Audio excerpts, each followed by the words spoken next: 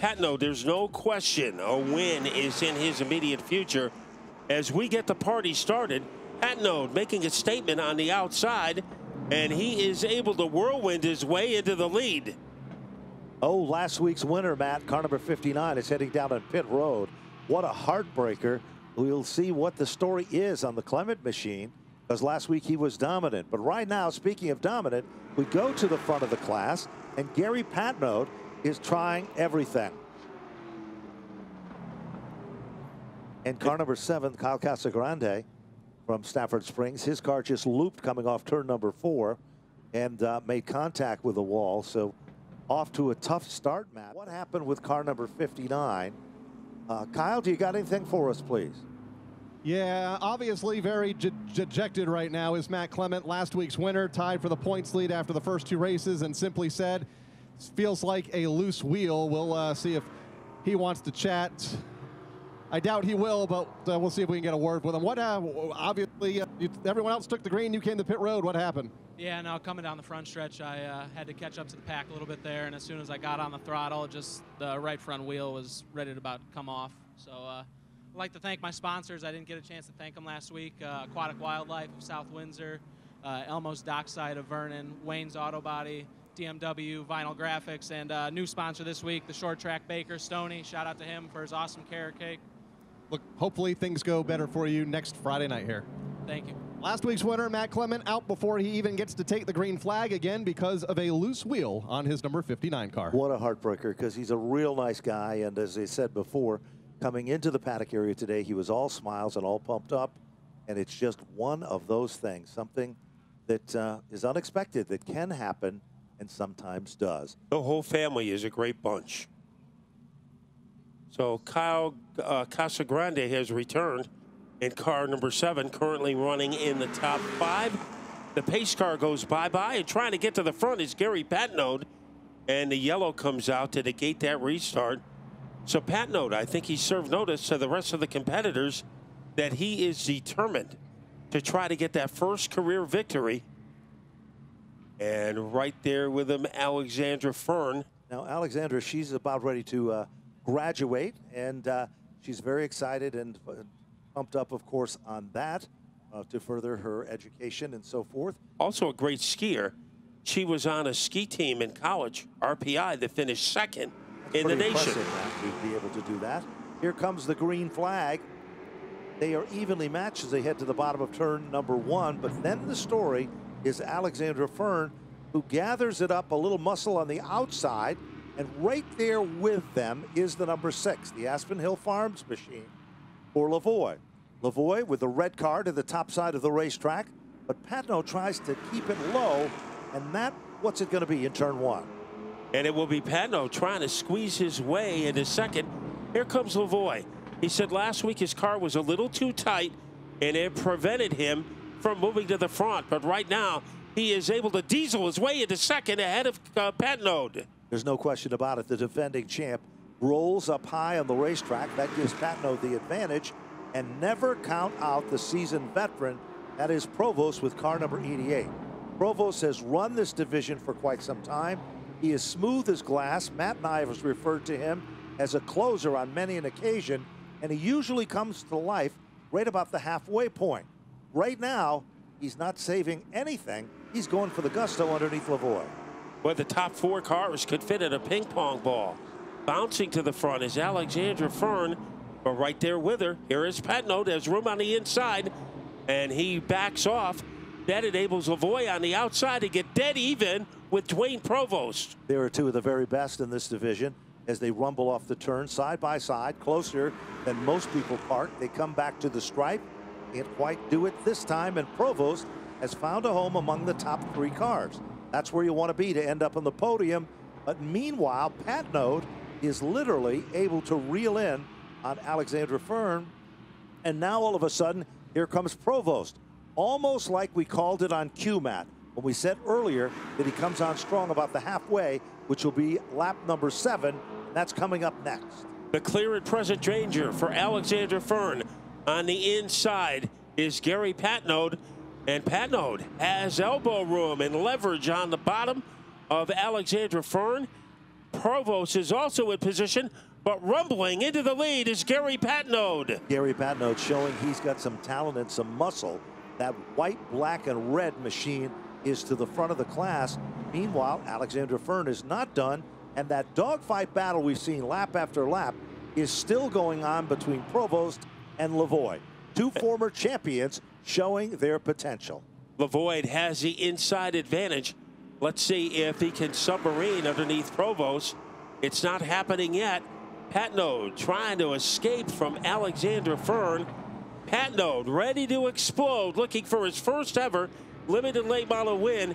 He is more than halfway there. He certainly is. The clock is ticking. This is only a 15 lap feature event, but Patnode looks racy. Fastest car on the racetrack. No surprise, Gary Patnode, 22.600. Side by side racing for second. Here comes the champs. It is Provost to quickly move into the runner up spot. And who is the tail that wags the dog there? All of a sudden, Lavoie moves onto the podium. And you know what? We counted out the number seven car for Kyle Casagrande after an early spin. And now all of a sudden, he's up to the fourth spot. And whatever damage occurred to the back of that car, Matt, I think it helped it instead of hurt it.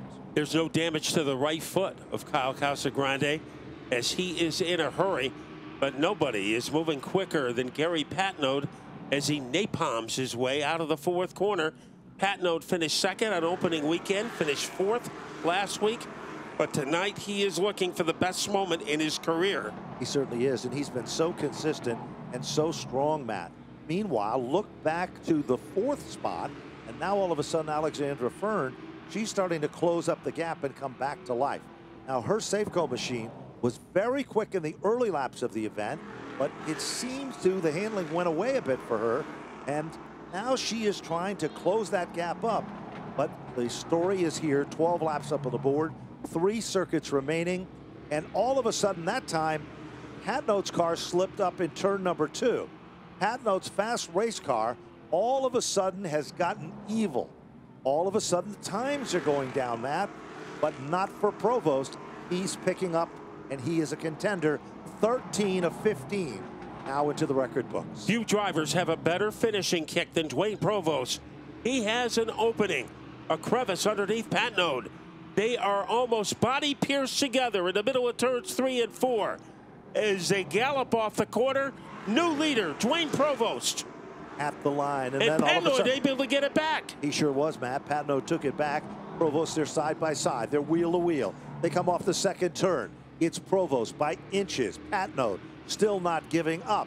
They work their magic down into turn number three. Ladies and gentlemen, the checkered flag is about to wave on the first feature event of the night. Keep your eyes on the start finish line.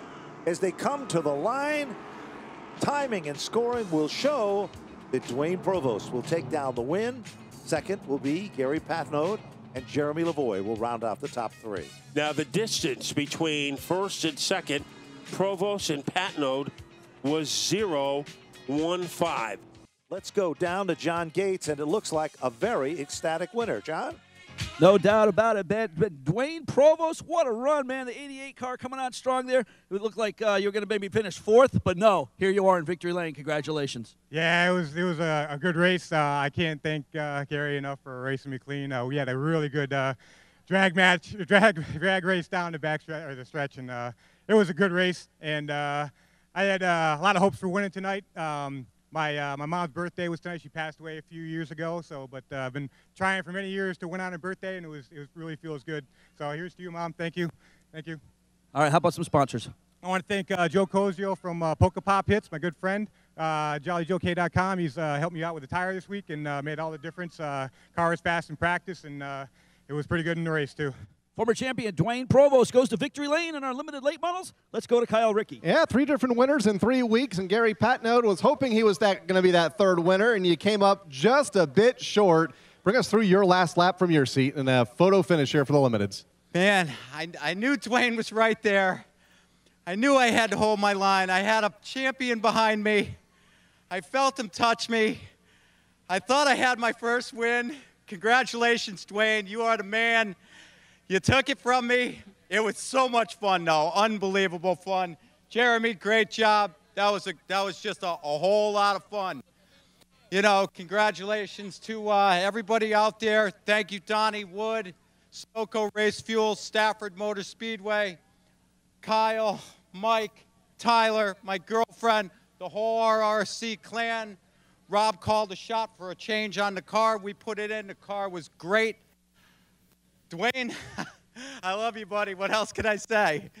Maybe you can get that first win next Friday night. We're going to try and we'll get one before too long. Here we go. Gary Patnode, card number 22, comes home in the second spot.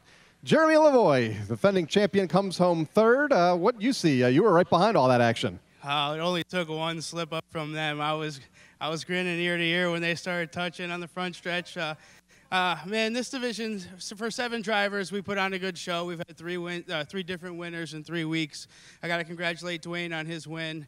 Um, but a third place finish, I can't complain either. So uh, starting fifth, finished third, cars in one piece, loaded up on the trailer. I got to thank my family, my sponsors, Aspen Hill Farm. He, he finally made it here third week. So uh, LNS Equipment, uh, Jeans Ford and Chevy, Delivery Solutions LLC, P2 Perry Powder Coatings. Without my sponsors, I wouldn't be able to do it. Uh, I got to thank everybody for coming out. I know the weather wasn't the best earlier, but uh, all the fans in the stands, thank you very much. You're the one that brings us here and, and puts on a good show for her. We'll see you next Friday. Thank you.